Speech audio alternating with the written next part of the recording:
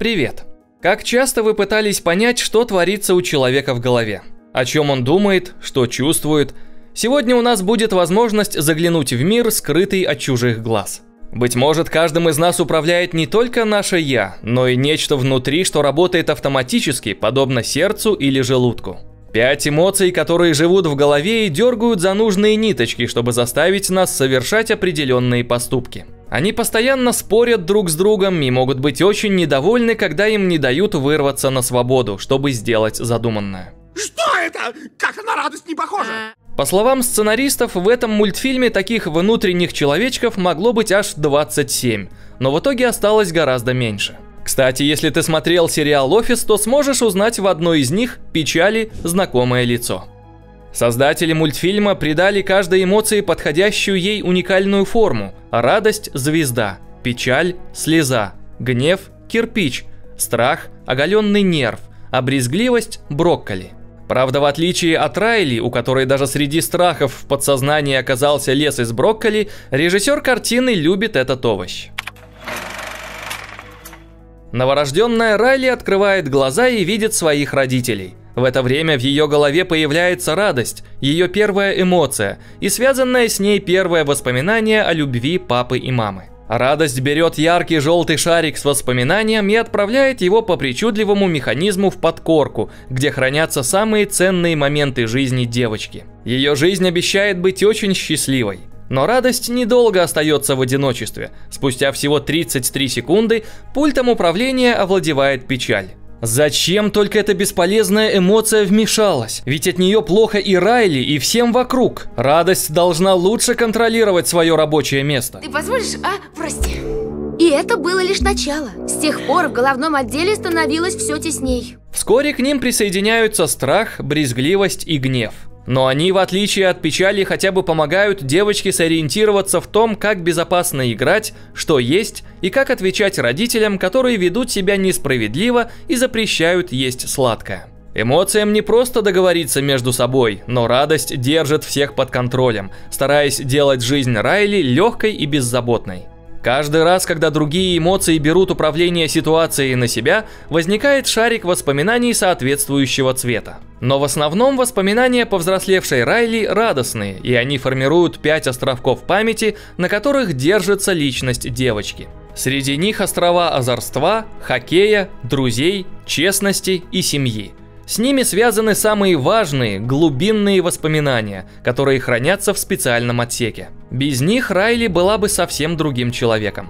Все идет как нельзя лучше, но в 11 лет семья продает дом в холодной Миннесоте и переезжает в Сан-Франциско. Это было очень неожиданно для Райли, а дорога на машине через несколько штатов длилась целую вечность. Но девочка все равно с нетерпением предвкушает, каким классным будет ее новый дом, и каждая из эмоций рисует ей свой уникальный дизайн. Страху важнее, чтобы все было безопасно, а гнев, наоборот, хочет, чтобы к его крепости боялись подходить всякие враги. Но все они оказываются совершенно не готовы к небольшому старому особняку, зажатому между соседних высоких домов. Вместо мебели внутри дохлая крыса, пыль и серые стены. Тому же вещи семьи привезут только через несколько дней и спать придется на полу. Родители начинают ссориться из-за проволочек. Напряжение растет, и среди эмоций Райли не остается места радости.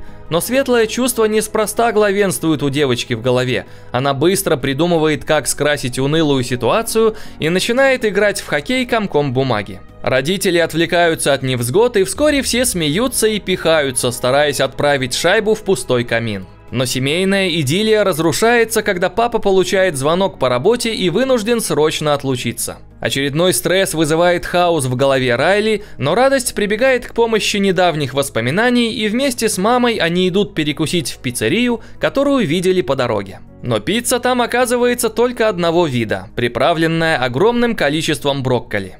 Воспоминания об этом месте окрашиваются в противный зеленый цвет. Но хотя бы по дороге назад можно обсудить с мамой веселые происшествия, которые случились в их путешествии. Радость подкидывает варианты, что вспомнить, чтобы поднять настроение, но вдруг радостные воспоминания окрашиваются в синий цвет печали. Эмоции начинают паниковать и видят, как печаль коснулась шарика, который до этого был ярко-желтым. Радость пытается исправить воспоминания, но оно оказывается безнадежно испорчено. Здорово, печаль. Пусть Райли теперь будет грустить, вспоминая об этой поездке. Браво. Умоляю, простите меня. Печаль пытается извиниться, но от нее лишь требуют больше ничего не трогать, пока радость не разберется со странным происшествием. Но печаль продолжает суетиться, и от ее движений одно из глубинных воспоминаний выпадает, от чего остров озорства отключается и гаснет. В срочном порядке шарик возвращают обратно, и Райли весело прокатывается по перилам лестницы. Радость берется за печаль, чтобы попытаться успокоить ее, но любые попытки развеселить депрессивную эмоцию заканчиваются провалом. Эти эмоции полные противоположности, и удивительно, насколько по-разному они смотрят на одну и ту же ситуацию из жизни Райли.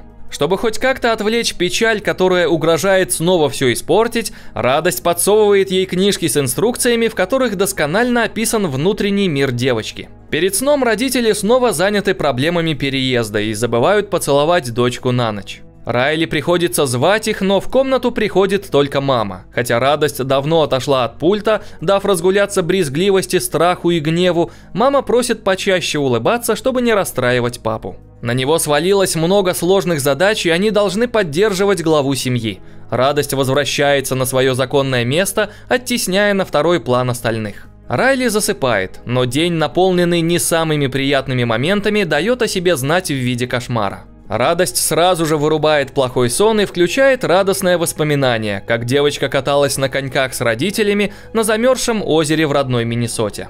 Грядет первый день в новой школе, и радость выдает остальным важные задачи, чтобы знакомство с новой обстановкой прошло без проблем. С целью предотвратить внезапный приступ печали, который может испортить весь день, ей достается самая важная миссия – не выходить из круга, который радость начертила на полу. Райли отправляется на занятия, весело прощаясь с родителями. В новом классе учительница просит рассказать о себе. Страх поднимает тревогу, но радость берет дело в свои руки, и Райли начинает рассказ о своей прошлой жизни в Миннесоте. Девочка может долго рассказывать о радостном воспоминании, но тут случается страшное, точнее печальное. Райли понимает, что эти моменты уже не повторятся, да и на коньках в Сан-Франциско никто не катается. Очередные проделки печали, которая снова лезет не в свое дело. Пока эмоции пытаются спрятать воспоминания подальше, печаль берет под контроль пульт управления, заставляя Райли плакать на глазах у одноклассников. Здесь все по-другому.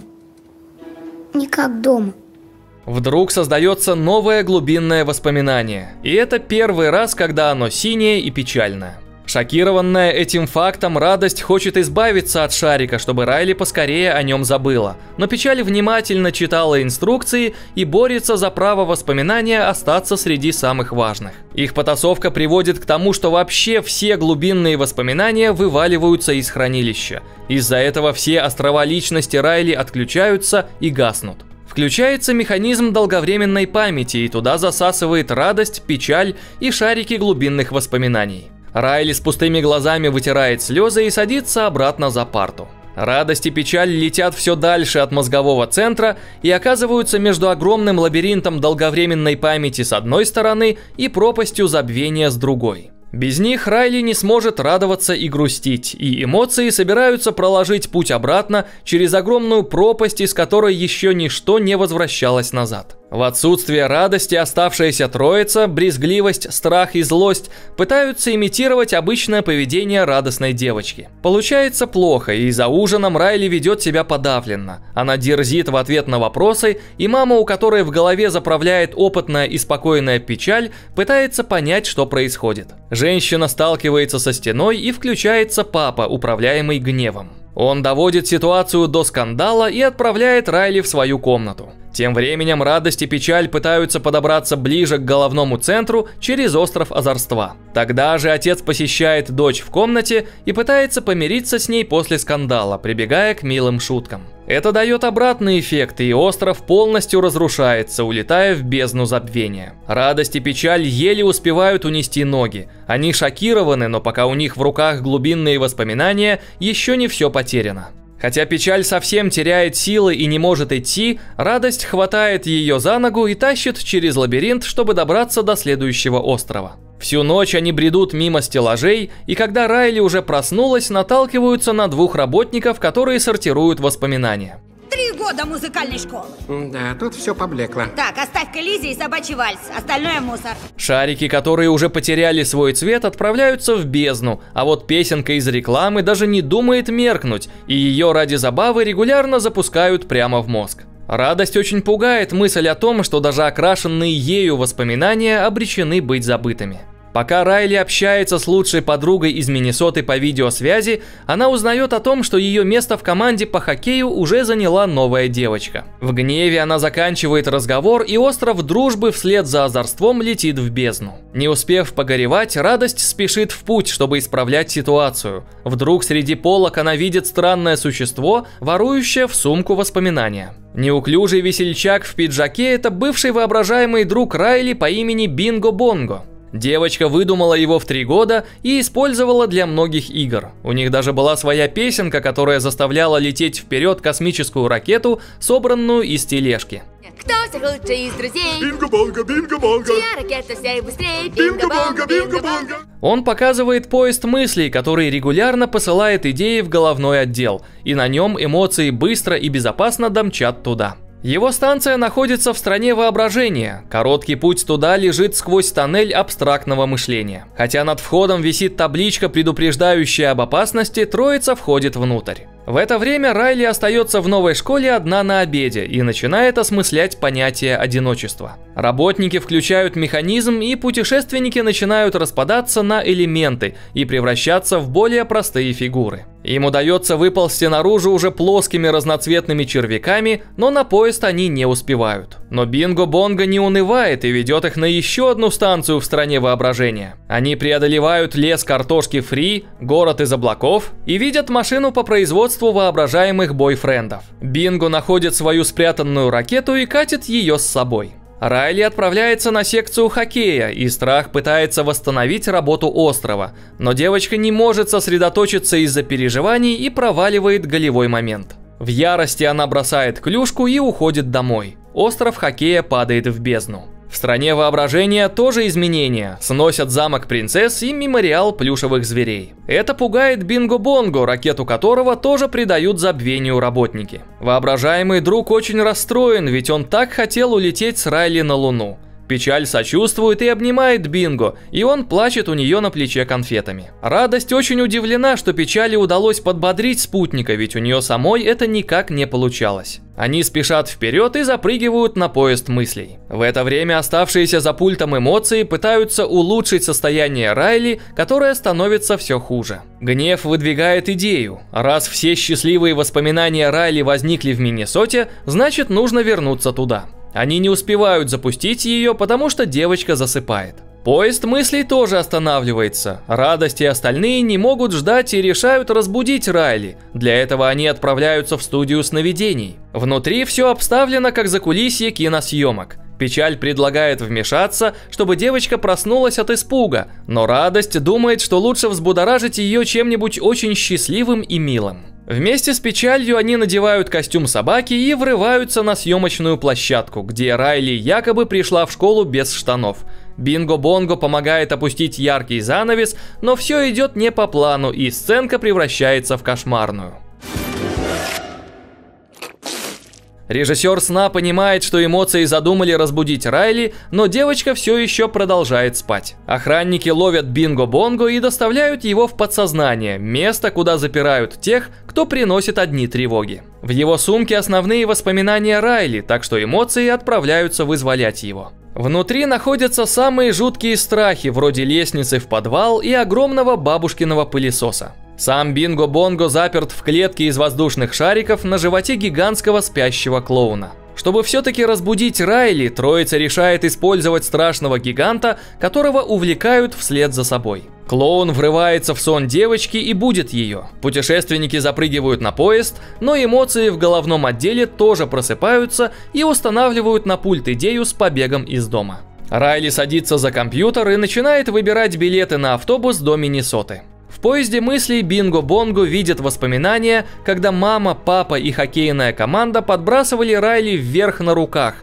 оказывая почести. Печаль тоже часто вспоминает этот день. Тогда девочка не забросила решающую шайбу и очень горевала. Райли ворует из маминой сумки банковскую карту, и остров честности начинает падать. Он разрушает опоры моста, по которому едет поезд мыслей, и путешественники начинают лететь вниз. Работники разума спасают радость, печаль и бинго-бонго из поезда, прежде чем он упадет в бездну. В последней попытке они бегут к острову семьи, но и он начинает рушиться прямо у них на глазах. Ничего не сказав родителям, Райли уже в пути на автобусную остановку. За собой остров тащит стеллажи с воспоминаниями, и среди них радость замечает трубу, которая отправляет воспоминания в головной центр. Печаль лезет следом, но когда она приближается к основным воспоминаниям, они начинают синеть. Радость отгоняет ее и решает бросить печаль тут, потому что Райли спасут только радостные моменты.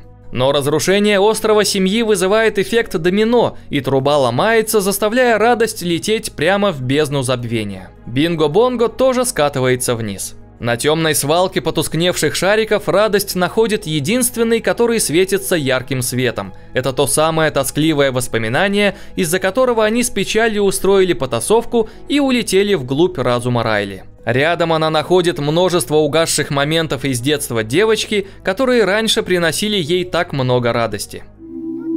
А ты помнишь, как смешно она высовывала язык, раскрашивая рисунки? Она горько рыдает, ведь радость делала все, чтобы Райли была счастлива, и каждый прекрасный момент повторялся вновь и вновь. Но теперь все разрушено, и ей никогда не вернуться назад. Радость берет в руки воспоминания, которые они обсуждали в поезде с печалью. Она перематывает его назад, обнаружив, что началось оно с того, что Райли грустила в одиночестве на ветке дерева. Там ее нашли мама с папой, а затем и команда, которые поддержали девочку в трудный момент и подняли на руки. Впервые радость понимает, что только благодаря печали, которую увидели близкие Райли, в ее жизни произошло такое важное событие. Чтобы вернуться назад, радость просит помочь Бинго-Бонго, но он совсем расклеился. Вырваться из бездны все равно, что полететь на другую планету. Но ведь для этого и существует космическая ракета, которую сбросили сюда же. Радость напевает песенку, которая запускает двигатели, и слышит вдалеке звук тележки. Они садятся внутрь и берут разгон, но всякий раз не долетают совсем немного. И тогда в третий раз Бинго-Бонго выпрыгивает на разгоне, чтобы его вес не помешал радости добраться до своей цели. Воображаемый друг очень рад, что смог помочь. Напоследок он просит радость осуществить его мечту и свозить Райли на Луну. После этого он навсегда исчезает в бездне. Родители возвращаются домой и не могут найти дочь. Они звонят ей, но Райли не берет трубку. Остров семьи продолжает разрушаться, пока радость носится по лабиринту, пытаясь найти печаль. Она ложится на пол, пытаясь имитировать действия противоположной эмоции, и видит, как нижний ряд шариков на полках окрашен в одинаковый синий цвет. Радость бежит по следу и видит печаль, но она бросается на утек, утверждая, что Райли без нее только лучше. Наблюдая разрушение последнего острова, на котором держится личность Райли, эмоции в головном отделе бьют тревогу и пытаются извлечь лампочку с идеей о побеге из приборной панели. Но вдруг вся панель начинает отключаться и становится неактивной. Райли полностью одержима одной идеей и перестает чувствовать любые эмоции. В это время в стране воображения печаль забирается на дождевое облако, а радость находит воображаемого бойфренда Райли, печатает его в достаточном количестве и запихивает клонов в бездонную сумку Бинго-Бонго. Они не возражают, поскольку каждый из них утверждает, что готов умереть за Райли. Дальше радость сдувает воздушным шаром печаль на облаке в сторону головного центра и бежит до края пропасти. Там она делает огромную башню из бойфрендов и падает вниз на батут, который еще стоит на острове семьи. Пролетая над бездной, в прыжке она хватает печаль, и две эмоции бьются с обратной стороны в окно штаба. Гнев пытается разбить стекло стулом, но у него ничего не выходит. Тогда брезгливость провоцирует его, чтобы он вышел из себя. В результате он вскипает, и из головы гнева вырывается огонь, который прожигает дыру в окне. Радость и печаль возвращают домой, но вот о Райли такого не скажешь. Автобус с девочкой уже отъезжает от остановки. Радость тут же хватает синюю подругу и тащит к пульту. Печаль? Я не смогу. Сейчас именно ты нужна Райли. Печаль действительно оказывается способна вытащить лампочку идеи, и Райли приходит в себя. Она понимает, что ее не ждет ничего хорошего и просит водителя остановиться. Девочка спешит домой к родителям, которые уже готовы начать поиски дочери по всему городу. С облегчением они бросаются к Райли, которая появляется на пороге. Радость подходит к печали и отдает ей в руки основные воспоминания. Все они окрашиваются в синий цвет, и печаль выводит их на проектор, вызывая слезы девочки. Она так скучает по Миннесоте, друзьям и тому знакомому счастью, которое не повторить на новом месте. Родители тоже признаются, что очень скучают по родным местам, где они вместе гуляли и катались на коньках. Они крепко обнимают Райли, а печаль берет радость за руку, и они вместе нажимают кнопку. Создается новое основное воспоминание, которое впервые сочетает в себе два цвета. С этих пор внутренний мир Райли стал богаче, а печаль нашла свое место среди остальных эмоций. Личность Райли теперь опирается на множество разнообразных островов, которые поддерживают интересы энергичной девочки-подростка. Работники разума добавляют на консоль множество новых кнопок, которые позволяют реагировать на новые ситуации в жизни Райли. Гнев приходит в восторг от расширенной базы данных ругательных слов. Огромную красную кнопку под названием «Созревание» пока решают не трогать. У Райли новые друзья и новый дом, но она все так же с удовольствием играет в хоккей в местной секции. На матчи родители приходят раскрашенные, как настоящие фанаты, и это тоже сильно сближает их эмоции. Райли уже 12, в ее жизни все прекрасно. Никаких эмоциональных потрясений не ожидается. Правда ведь? Кстати, в японском прокате этот мультфильм вышел с небольшими изменениями. Для местной аудитории пришлось переделать сцену с брокколи, которую так ненавидят Райли. Дело в том, что большинство японских детей с большим аппетитом едят этот овощ. Так что пришлось взять вместо него зеленый перец, который как раз вызывает у них отвращение. Хотя существует множество разных теорий о том, как устроен внутренний мир человека, никто до конца не знает всех его механизмов. В мультике отражена лишь одна из таких теорий, которую создал психолог Пол Экман. Он выделил основные эмоции, тщательно изучая выражения человеческих лиц, и к пяти показанным на экране ученый добавляет еще презрение и удивление. Но не всегда, что отражено на лице, отражает всю гамму переживаний внутри. Никто не использует только семь слов, чтобы говорить о чувствах, и вряд ли испытывает эмоции одинаково. И что творится в твоей душе, никто лучше тебя не расскажет. Так что ищи в описании к ролику название фильма и пиши в комментариях, а какая эмоция могла бы управлять всем у тебя в голове. И не забудь подписаться на канал и поставить лайк, чтобы классные сюжеты выходили как можно чаще.